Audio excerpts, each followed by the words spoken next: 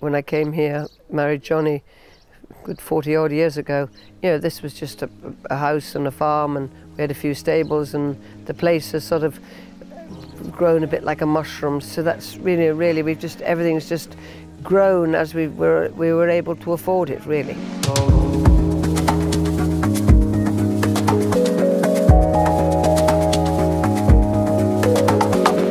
I'm Jessica Harrington. I'm a racehorse trainer from Moone, County Kildare, Ireland. My father always had a couple of uh, pointer pointers. My brother sort of went in that direction and he ended up a top amateur in Ireland and, and then a trainer. Um, I was more into the eventing and, and the show jumping. Um, I was lucky enough uh, to ride in the European Championships in 88. I did that up till actually sort of a couple of years before I started training. Three feet. You're going to go one and one.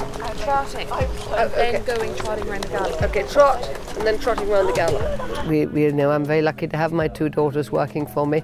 You know, it's great backup for me, and um, you know it means that I can probably have concentrate on all the things I like doing, which is basically looking at the horses and training the horses, and they do all the things I don't like doing.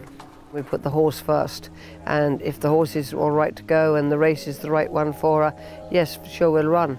You don't go for the sake of going. I've never done that.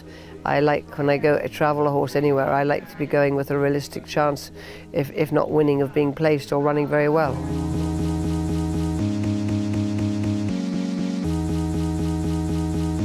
Never won a classic before she won the Irish Guineas, and that was amazing.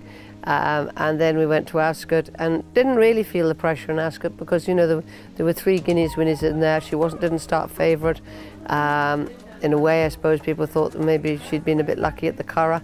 From threading and voracious, Alpha Centauri pounding clear on the run to the line. She's five, six, seven lengths ahead. A star in the making. Alpha Centauri wins the Coronation Stakes but um, she made absolutely sure that it was that that was no fluke and, and won in Ascot very easily. Me and Alpha just kind of clicked when we got partnered up and um, obviously things have been going well so it's easier to say that. We have to treat her like any other horse. She goes up there, she trots around. I never thought I'd ride a Guineas winner, never mind an Ascot winner. Um, so it's absolutely amazing. I can't even can't even describe it really to be honest.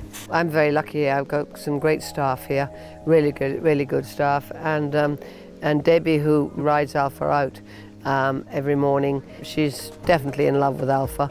You know, they all know what they're doing. Um, every, everybody knows what they're doing, and as long as they all know what they're doing, you know, no one's shouting and screaming and raising their voices, which I like. I like to keep the thing calm, and I think if you if you are calm and everyone's calm, the horses are calm.